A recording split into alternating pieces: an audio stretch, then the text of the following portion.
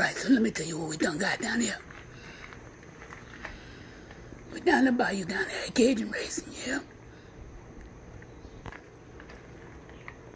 My buddy over there, at Asher and the cool kids over there on YouTube, he done brought me this little KLX 110 Kawasaki. We're gonna be doing some mods for him today. He was out here helping earlier, but that sucker moved too fast to get him on video. He had other projects going on. So what we doing? We had an ignition box, high performance coil. We got some new plastic for it down there. Sporting old Donald Trump. We got some new rims, some new tires. We got the seat going on there.